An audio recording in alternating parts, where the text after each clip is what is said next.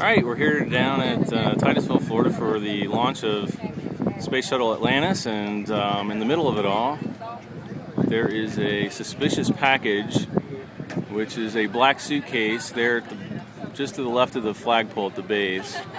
So they've called in the bomb squad and roped off the area.